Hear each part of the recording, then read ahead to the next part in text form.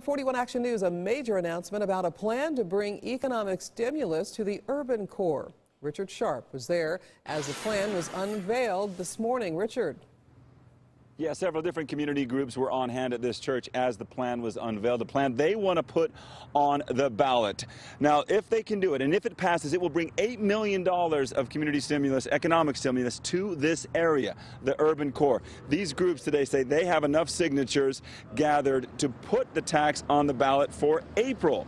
It would be a sales tax of eighth of a percent. That's basically less than 1% of your bill when you go to buy something. The whole city would pay the tax, but the money generated generated would only be for the urban core, specific district. So this could be a tough sell for the rest of the city to pass, but the group says they have voted for every other tax plan that has benefited other parts of the city, and it's time for the favor to be returned.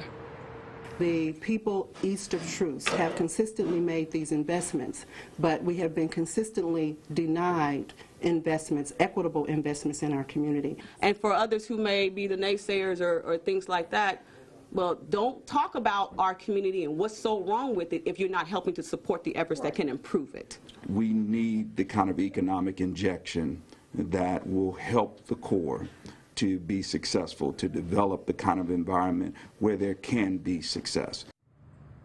All right, let's take a look at a map here to kind of show you how big this district will be. It'll be bordered on the north by 9th Street, Gregory to the south, Paseo on the east, and Indiana on the west. It is a big one. It's expected to foster everything from small businesses to grocery stores to vocational schools and more. So the group says they have enough signatures. They're taking those signatures to the city clerk to turn them in to get this on the ballot this afternoon. Live in Kansas City, I'm Richard Sharp, 41 Action News.